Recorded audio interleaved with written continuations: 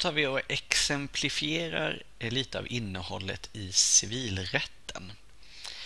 Och eh, vi börjar med eh, det som kallas för personrätt.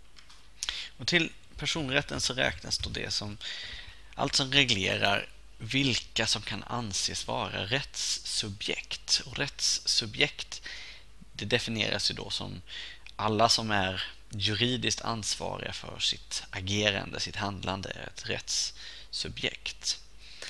Och ehm, vidare då inom personrätten så tittar man vidare på förhållandet då mellan eh, rättssubjekt vad gäller exempelvis personlig integritet. Det är också personrätt. Alltså. Om vi tittar på exemplet här ute så har vi relationen då medborgare-medborgare.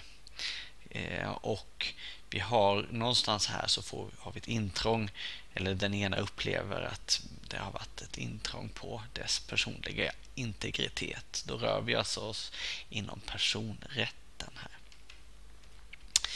Eh, familjerätten eh, reglerar eh, bland annat äktenskapet, eh, dess ingående upplösning, men också samboförhållandena givetvis regleras eh, eller faller in under familjerätten.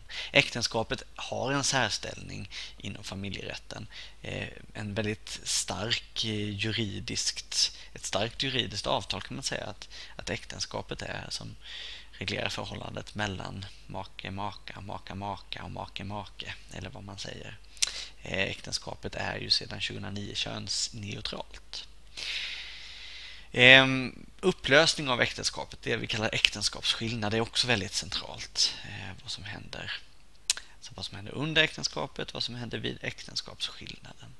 Eh, förhållandet mellan föräldrar och barn tillhör också familjerätten. Eh, vad händer med vårdnaden om ett barn i en vårdnadstvist exempelvis? Och vad har föräldrar för, för skyldighet gentemot sitt barn under, under tiden barnets uppväxttid? Ehm, detta är exempel på, på sånt som är ehm, centralt. Vid äktenskapsskillnad så, så, är det väldigt eh, centralt eh, rent uppdelning av, ehm, av egendom som finns inom, inom äktenskapet. Eh, vi går vidare. Successionsrätt är reglerar det som vi till vardags kallar arv. Alltså vad händer med en avlidens tillgångar? Hur fördelas eh, förmögenhetsvärdet eh, mellan då arvtagare? Och framförallt måste man ju först reda ut vem har rätt att ärva. Förmögenhetsrätt, en stor del inom civilrätten ehm, och reglerar bland annat eh, ägandeförhållande mellan olika rättssubjekt av ett rättsobjekt. Där då rättsobjektet är exempelvis en, en sak. Så vem är rättmätig ägare till en sak exempelvis? Det är en förmögenhetsrättslig fråga. Eh, av jätteintresse också eh, avtalsrätten. Här har vi mycket stor del utav, av juridiken faller in under avtalsrätten egentligen. Ehm, Sverige har ett rättssystem som bygger på att mycket går att avtala ehm, om.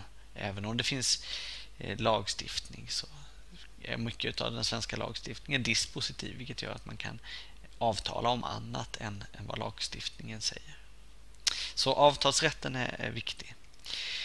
Eh, arbetsrätten eh, blir det sista exemplet jag tar här från civilrätten och reglerar förhållandet, eller här inom faller förhållandet mellan arbetsgivare och anställd.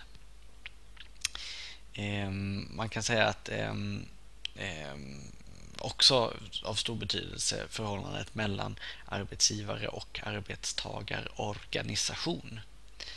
Alltså det som vi till vardags kallar för facket. Eh, även arbetsgivarorganisation givetvis finns ju här. Svensk, Svenskt näringsliv är ett sådant exempel på en arbetsgivarorganisation. Men vad, vad gäller i relationen här mellan arbetsgivare och anställd? Vad har man för rättigheter, skyldigheter, eh, både som individ och som kollektiv?